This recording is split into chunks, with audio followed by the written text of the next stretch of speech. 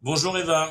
Merci d'être avec nous euh, en direct sur Radio J. Je rappelle que vous êtes avocat en Israël, ancien député du parti euh, Yamina, et aujourd'hui, vous souhaitiez revenir sur cette fameuse affaire de la finule, car après l'UNRWA, la finule semble de nouveau, dites-vous, être une agence de l'ONU qui se retrouve impliquée par des soupçons de collusion avec une organisation terroriste. La finule a une longue histoire sur le terrain entre Israël et le Liban, et cette histoire, dites-vous, n'est pas forcément glorieuse.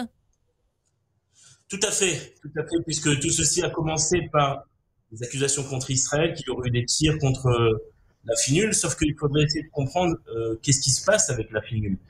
La finule a été créée il y a maintenant 46 ans, en 1978, lorsqu'on commençait euh, les incursions de terroristes, à l'époque c'était des terroristes palestiniens de, de l'ONP, en Israël, faire des attentats, ce qui a provoqué donc euh, une première opération militaire entre Israël et le Liban, l'opération Litanie 1978.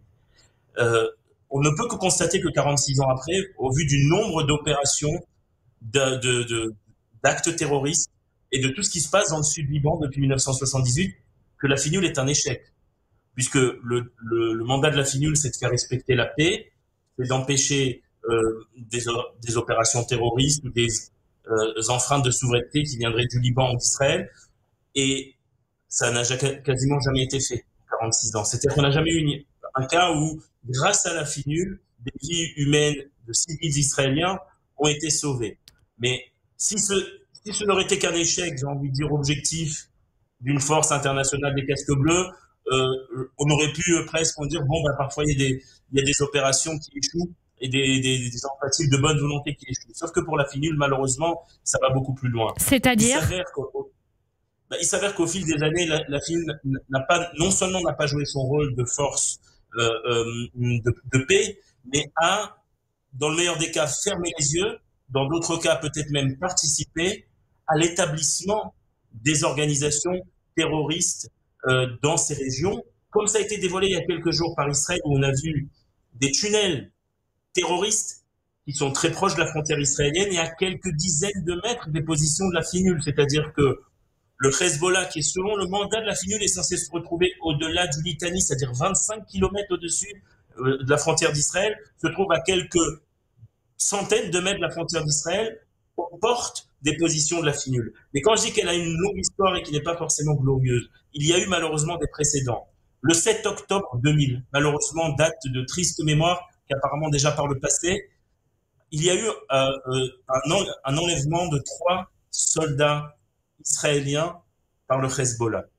Il s'est avéré que cet enlèvement a eu lieu sous les yeux des forces de la FINUL et a même été filmé par la FINUL.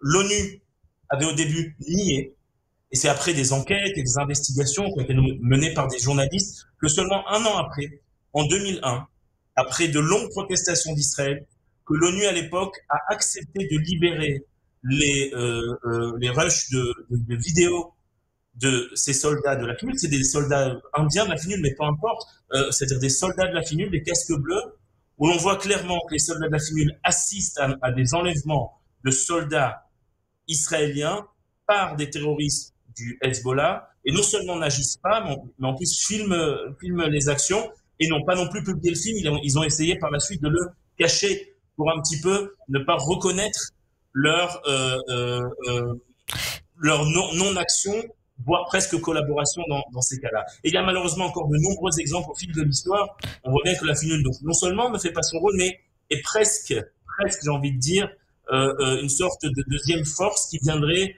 euh, cacher les actes euh, des terroristes du Hezbollah. Très rapidement, euh, mais là, dans ce cas précis, c'est Israël, hein, pourtant, qui est de nouveau accusé de tirer sur les casques bleus et d'enfreindre le droit international. Comment euh, réagir? En disant la vérité. Ça a toujours été le cas. On accuse toujours Israël en premier. Je vous rappelle que euh, par rapport à l'UNRWA et euh, les établissements de l'ONU dans la bande de Gaza, on accusait aussi Israël de tirer sur les installations de l'UNRWA. Et euh, on le fait de moins en moins puisque depuis on a, ça a été prouvé, documenté que de nombreux employés de l'UNRWA étaient en réalité des terroristes du Hamas. Et on a vu encore récemment qu'en réalité, le chef des syndicats des employés de l'UNRWA était un, un chef du Hamas qui a été éliminé au Liban il y a quelques semaines. Donc, il faut pas, il faut pas lâcher la vérité, il faut pas laisser, ne pas se, faire, laisser faire impressionner par ces condamnations internationales, par les déclarations d'Emmanuel Macron ou autres. Encore une fois, j'ai pris l'exemple de l'an 2000. En 2000, Israël a tenu bon et en fin de compte, la vidéo a été publiée et les familles des, otages, donc de ces soldats israéliens, ont attaqué l'ONU en justice. Et, donc la finule par rapport à ces actions-là. Euh, et Kofi Annan avait dû s'excuser euh, par la suite. Donc que je veux dire, c'est qu'il ne faut pas lâcher, même si parfois on a l'impression qu'on a le monde entier contre nous, on a la vérité de notre côté et il faut la dire haut et fort. Merci beaucoup euh, Yom Tov Kalfon, euh, avocat en Israël et ancien député de Yamina qu'on retrouve toujours avec beaucoup de plaisir chaque semaine sur Radio J. Merci beaucoup. Merci à vous.